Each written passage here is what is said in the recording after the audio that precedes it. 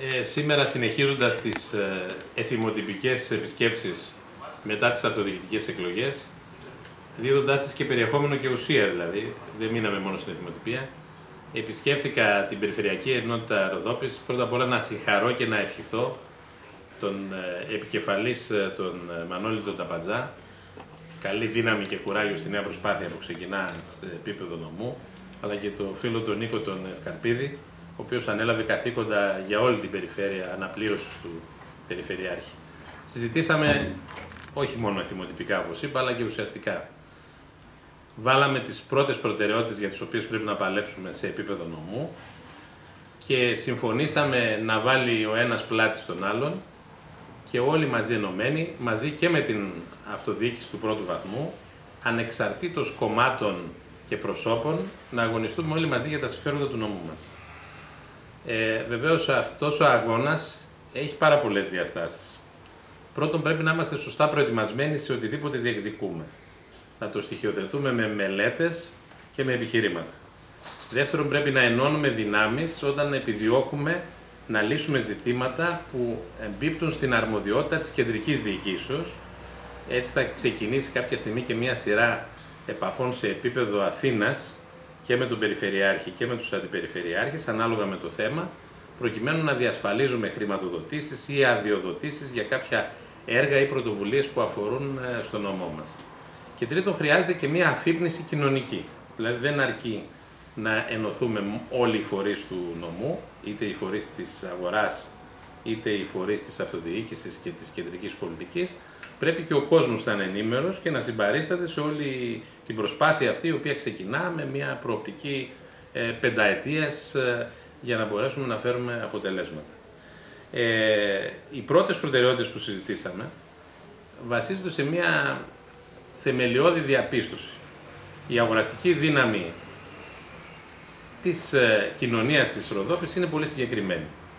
Η αύξησή της δεν εξαρτάται απόλυτα από εμάς, αλλά κυρίως επηρεάζεται από τις κεντρικές πολιτικές, από τη φορολογική πολιτική, από την αύξηση των μισθών και των συντάξεων ε, και γενικότερα από την πορεία της οικονομίας. Αυτό όμως που μπορούμε εμείς να επιδιώξουμε είναι τη διεύρυνση της τοπικής αγοράς, προσελκύοντας κόσμο και απ' έξω. Κάτι το οποίο θα τονώσει την τοπική οικονομία.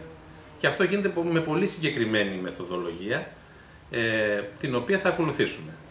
Οι πηγές μας είναι τρεις. Η μία πηγή είναι η ανάπτυξη της ε, Κομωτινής και της Ροδόπης, όπως και των άλλων πόλεων της περιφερείας, ως εκπαιδευτικά κέντρα, με βασικό όχημα βεβαίως στο Δημοκρίτιο. Σε αυτήν την περίπτωση, αυτό το οποίο διεκδικούμε και το έχουμε θέσει και στον αρμόδιο υπουργό, είναι πρώτα απ' όλα αύξηση πιστώσεων, δεύτερον αύξηση εισακτέων, σε βαθμό που δεν θα απαξιώνεται όμως η εκπαιδευτική υπηρεσία που παρέχεται, ενίσχυση της εξωστρέφειας του Δημοκρατίου με φιλοξενία φοιτητών από όλο τον κόσμο μέσα από ειδικά προγράμματα και εφόσον υπάρξει και η εξέλιξη των μη κρατικών πανεπιστημίων, συνέργειες ώστε να μπορέσουμε με τη βοήθεια και του ιδιωτικού τομέα να προσελκύσουμε στην περιοχή μας εκπαιδευτικά προγράμματα προπτυχιακά ή μεταπτυχιακά που μπορεί να φέρουν κόσμο και από άλλες περιοχές της Ελλάδος αλλά βεβαίως και από τα Βαλκάνια. Είναι πολύ σημαντική η πρώτη προτεραιότητα για τη λειτουργία της εργοθεραπείας, διότι σε βάθος τετραετίας θα φέρει τουλάχιστον 400 άτομα μόνιμους κατοίκους στην Κομωτινή, κάτι το οποίο το χρειάζεται η πόλη για να δυναμώσει μαζί με την παρουσία και των υπολείπων φοιτητών των άλλων κλάδων. Αυτά όμως είναι ζητήματα που θα συζητηθούν και με το Πανεπιστήμιο, διότι εκεί πρέπει να πάμε ενωμένοι όλοι μαζί. Η δεύτερη προτεραιότητα που κουβεντιάσαμε, που επί της ουσίας είναι πρώτη όσον αφορά τις αποδόσεις, είναι ο πρωτογενής τομέας. Πώς δηλαδή θα μπορέσουμε να στηρίξουμε τον πρωτογενή τομέα στην περιοχή μας και εδώ αναφερόμεθα και στους ε, αγρότες και στους κτηνοτρόφους. Τα δύο μεγάλα έργα που είναι σε κρεμότητα είναι το φράγμα του Ιάσμου που έχει τελειώσει μελέτη και πρέπει να ολοκληρωθεί η επικαιροποίηση για να διεκδικήσουμε από κοινού την ένταξή του σε κάποιο χρηματοδοτικό πρόγραμμα το οποίο θα καλύψει αυτά τα 213 εκατομμύρια που απαιτούνται για την κατασκευή και τη λειτουργία του. Δεν είναι εύκολο αυτό αλλά έχουμε φτάσει σε ένα σημείο το οποίο θα το επικαιροποιήσουμε για να δούμε πώς θα προχωρήσουμε. Το δεύτερο είναι το αρδευτικό του Ιασίου, του, φρα... του υφιστάμενου φράγματος, για να μπορέσουν να ωφεληθούν και οι αγρότες από αυτήν την υποδομή η οποία έχει ολοκληρωθεί. Και υπάρχουν και άλλα ζητήματα που έχουν να κάνουν με την τρέχουσα ΚΑΠ, η οποία έχει σημαντικά προβλήματα και πρέπει να διορθωθούν. Επομένως, έχουμε πολλή δουλειά να κάνουμε και με το Υπουργείο Αγροτικής Ανάπτυξης και διεκδικητικά και σχεδιαστικά και από άποψη έτσι, απέτησης ε, υλοποίηση κάποιων αποφάσεων που συμπεριλαμβάνονται και στην Διακομματική Επιτροπή της Βουλής, στο πόρισμα δηλαδή για τη Θράκη. Το τρίτο κομμάτι που είναι πολύ σημαντικό είναι ο τουρισμός. Εκεί η εκκρεμότητα που έχουμε είναι να διεκδικήσουμε το άνοιγμα του κάθε του άξονα και για τα λεωφορεία. Να πω ότι οι κανονισμοί για τα τούνελ είναι φτιαγμένοι, δηλαδή πλέον τα τούνελ μπορούν να δεχθούν λεωφορεία. Τι χρειάζεται εκεί, χρειάζεται μια νέα ρηματική διακοίνωση να συμφωνηθεί με τη Βουλγαρία και να αποδεχθεί η Βουλγαρία αυτή τη νέα διάσταση. Χρειάζεται στη συνέχεια μια μικροϊποδομή εντός ελληνικής επικράτειας για τους τελωνιακούς και τους αστυνομικούς ελέγχους όταν απαιτείται, για να μπορέσουμε να φιλοξενούμε και περισσότερο κόσμο που θα έρχεται με οργανωμένες εκδρομές, οι οποίες ενδεχομένως θα ενθαρρύνονται και από την επικοινωνιακή πολιτική που θα κάνει η περιφέρεια τα επόμενα χρόνια μαζί με την τοπική αυτοδιοίκηση. Αυτές είναι οι τρεις μεγάλες προτεραιότητες. Δεν εγκαταλείπουμε τα τρέχοντα ζητήματα. Ε, το συμπέρασμα που πρέπει να μείνει από τη σημερινή συνάντηση είναι, όπως και από τη συνάντηση που είχε προηγηθεί με τον νέο Περιφερειάρχη, ότι εμείς το επόμενο διάστημα θα προσπαθήσουμε να δουλέψουμε όλοι μαζί συλλογικά. Φαντάζομαι και οι άλλοι συνάδελφοι κοινοβουλευτικοί θα θελήσουν να συμμετέχουν σε αυτή την προσπάθεια. Σίγουρα οι νεοεκλεγέντες ε, δήμαρχοι, αλλά σε κάθε περίπτωση ως ε, πρωτοστάτηση η περιφέρεια, η οποία κρατάει στα χέρια της και την ευθύνη της διαχείρισης ε, των κονδυλίων που δικαιούται η περιοχή. Εγώ θέλω να ευχαριστήσω και τους δύο φίλους για τη σημερινή έτσι, υποδοχή εδώ, να τους ευχηθώ από καρδιάς ε, καλή δύναμη στο δύσκολο έργο που αναλαμβάνουν. Και επειδή βλέπω και τον Νίκο τώρα που είναι από την περιοχή των Σαπών, να πω ότι όπως είπαμε και με τον Μανώλη, εμείς θέλουμε ισομερή ανάπτυξη, άρα θα πρέπει περιοχές που εμφανίζουν αδυναμίες, αριθμίες και προβλήματα όπως η επαρχία Σαπών ή ενδεχομένως και η επαρχία Ιάσμου να τονωθούν εξίσου με τις υπόλοιπες περιοχές για να μπορέσουμε να έχουμε ισόρροπη ανάπτυξη όλων των ομοροδόπης και στον Ορεινό Όγκο και στο Γκάμπο και στην παράκτια ζώνη. Ε, το όραμα που μοιραζόμαστε είναι κοινό. Θα ενώσουμε τις προσπάθειές μας και πιστεύω ότι θα μπορέσουμε να πετύχουμε το καλύτερο δυνατό αποτέλεσμα παρά τις όποιες δυσκολίες κάθε φορά αντιμετωπίζουμε. Ευχαριστώ πολύ για την σημερινή φιλοξενία και εύχομαι καλή δύναμη και καλή επιτυχία. Είχα τη χαρά και τιμή, τόσο εγώ είχαμε όσο και ο κύριος Ευκαρπίδης, να υποδεχθούμε στην, στο κτίριο της Αντιπεριφέρειας τον Υπουργό, τον κύριο Στυλιανίδη. Η χαρά μας είναι μεγάλη γιατί υποδεχθήκαμε έναν άνθρωπο ο οποίος είναι, θα ήθελα να πω, εξαιρετικά καλός συνομιλητής, αλλά το κυριότερο είναι ένας εξαιρετικός γνώστης όλων όσων έχουν να κάνουν με την περιφερειακή εννοείται ροδόπηση και τον ευχαριστούμε πάρα πολύ που είναι σήμερα κοντά μας.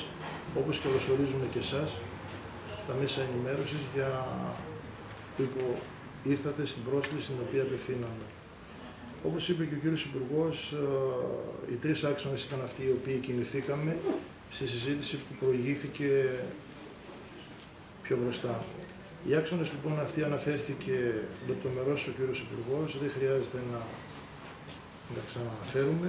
Το Πανεπιστήμιο βεβαίως και είναι ένας, ένα μέσο το οποίο μπορεί να δώσει οικονομική οντότητα μεγαλύτερη στην περιοχή μας και θα γίνουν όλες οι απαραίτητες ενέργειες ούτως ώστε αυτό να γίνει πραγματικότητα.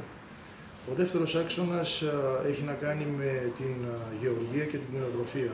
Όπως καλά γνωρίζετε, το 65% του ενεργού πληθυσμού περίπου ασχολείται με τους δύο αυτούς τομείς.